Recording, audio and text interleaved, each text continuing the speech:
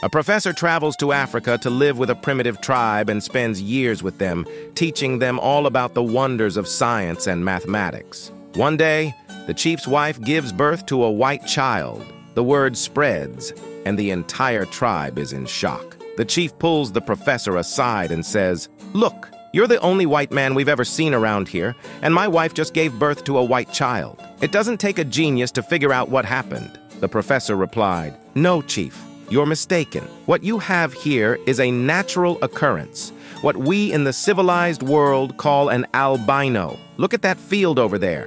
All of the sheep are white except for one black one. Nature does this on occasion. The chief was silent for a moment, then said, Tell you what, you don't say anything more about that sheep, and I won't say anything more about that white baby.